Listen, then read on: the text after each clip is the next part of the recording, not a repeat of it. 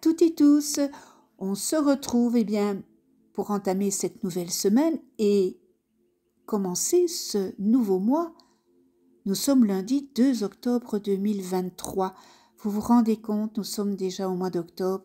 Dans un mois et demi, nous serons dans la magie de, des fêtes, dans la magie Noël. Que cela passe vite, n'est-ce pas? J'espère que vous allez toutes et tous bien et que vous avez passé un joli week-end. Pour cette semaine, eh bien, j'ai pris s'autoriser à être soi. Qu'est-ce que ça veut dire s'autoriser à être soi? C'est accepter, n'est-ce pas, sa part obscure pour avancer vers sa lumière. Et on terminera avec la petite carte pour ne plus avoir peur. Avant de commencer, Univers infini, ma vie n'est que réussite et succès à tous les niveaux, amour, santé, finances et juridique, dans un délai le plus bref, ici-bas et maintenant, que cela soit ainsi. Aujourd'hui, j'ai pigé la carte et des rapports d'égal à égal. En fait, euh, cet oracle va parler des sept chakras. Ici, nous arrivons dans le chakra orange. C'est le deuxième euh, chakra, n'est-ce pas? C'est le, c'est le chakra sacré qui est euh, juste au-dessus de l'os pubien. Et quand ce deuxième chakra est déséquilibré, eh bien, il manifeste une notion de culpabilité accentuée du fait de ne pas vous sentir à la hauteur. Vous ne respectez pas le sacré en vous, c'est-à-dire vos valeurs, vos convictions, vos envies, vos désirs. Et vous êtes, eh bien, hyper émotif. Et c'est alors que naît une attitude tendue envers les autres, avec les rapports de force inévitables. Vous vous placez soit au-dessus, ou soit au-dessous de l'autre. Et la solution, c'est quoi? Prendre conscience de votre valeur intérieure infinie en comprenant que vous êtes l'égal d'autrui, en veillant bien à ne pas nourrir votre ego outre mesure. Et des rapports d'égal à égal.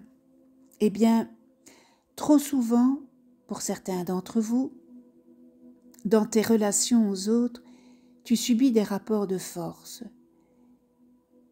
Et c'est ainsi que tu te places soit en position d'infériorité, soit en position de supériorité. Ce qui, dans les deux cas, eh bien, ça trahit un manque de confiance en ta valeur. Dans le premier cas, tu as facilement tendance à penser que les autres savent mieux que toi, sont plus doués, plus exercés. Eh bien, cela, ça lui donne la possibilité de te définir à ta place. Dans le second cas, eh bien, tu te sens obligé de prouver et de défendre ta valeur, ce qui prouve finalement que tu la sens fragile. En vérité, tu ne te positionnes pas d'égal à égal. Ta valeur est une réalité, n'est-ce pas? Elle n'a pas besoin d'être défendue ni diminuée puisqu'elle est indiscutable.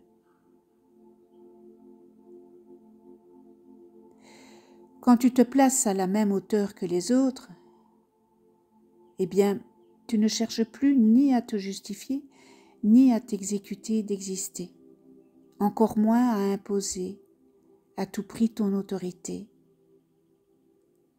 Être simplement toi suffit.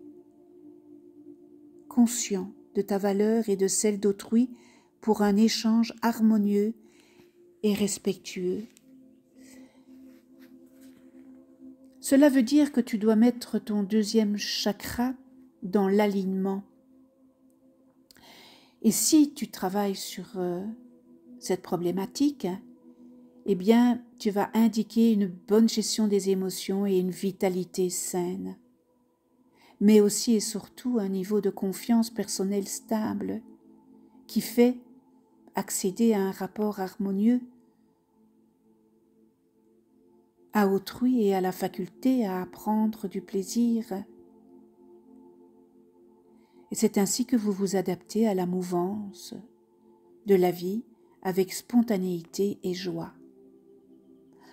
Donc remettre son deuxième chakra dans l'alignement est aujourd'hui le travail que vous devez effectuer. Très beau message, n'est-ce pas, de s'autoriser à être soi de Karine Micard. Je termine avec euh, la petite carte pour ne plus avoir peur. J'inspire lentement et le souffle prend la place de la peur dans mon corps.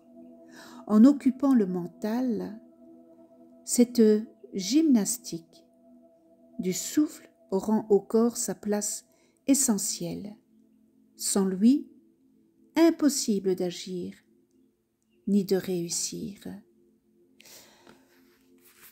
Waouh, je suis heureuse de reprendre, euh, s'autoriser à être soi, ce bel oracle-là. Euh, j'espère que ça va, ça va vous aider à remettre vos chakras dans l'alignement. Je vous souhaite une très belle journée on se retrouve demain pour un nouveau message. D'ici là, portez-vous bien, je vous embrasse. À demain.